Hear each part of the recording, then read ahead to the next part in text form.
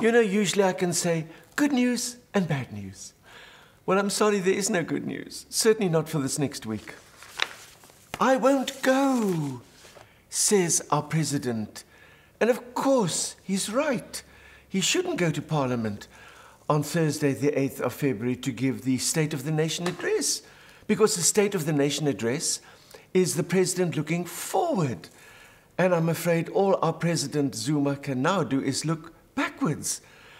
And I am, I am very confused and quite angry because I couldn't uh, spend time in the kitchen in the last few days because I've been sent down to Cape Town to Parliament to prepare for Thursday night's SONA event, which is the opening of Parliament. And I can assure you it is a very tense situation. If we just look back to last year's SONA, I don't know if you remember, because the reality TV show of Parliament has been going on for so long.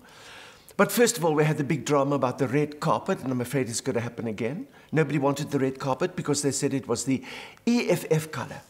And so we had to find another one. They found the blue carpet, and I thought that was quite nice. And they said, no, that's the DA color.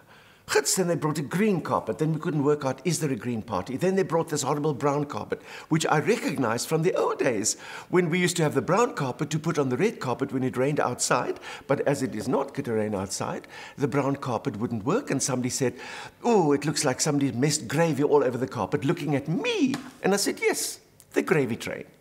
Don't make jokes in Parliament. And then, of course, the EFF, as you remember, disrupted Parliament for 70 minutes. And they are going to do even more than that on Thursday night.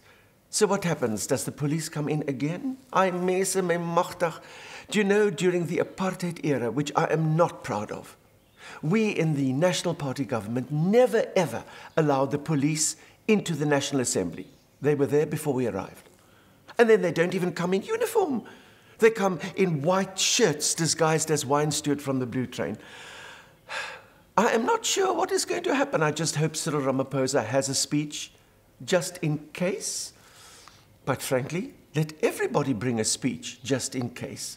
Because maybe the State of the Nation address should be everybody being given two or three minutes to just say what they want to see in the future of our country. But don't give up hope, Mesa. Parliament is opening in Cape Town. Yes, we are hoping for rain. We are hoping for our provincial government to stop fighting. And we are hoping for a very, very inspiring SONA address. But let's hope. It's called the Cape of Good Hope. I suppose that's the good news. I won't go. Ach, my liewe aarde. Give him a push, my magtig. Evita, Evita, and you know what we mean. Evita, Evita, always on the scene. Evita, Evita should be queen.